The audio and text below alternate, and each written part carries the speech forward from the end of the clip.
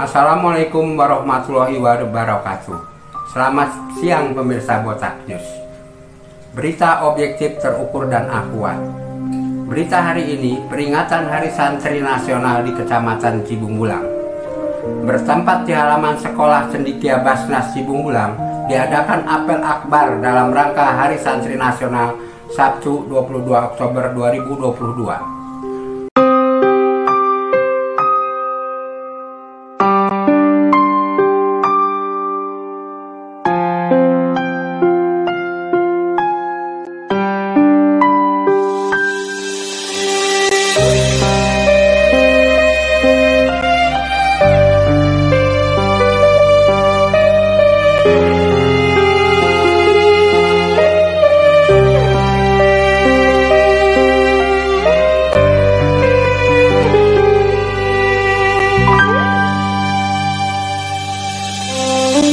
Indonesia memanggil, santri tidak pernah mengatakan tidak.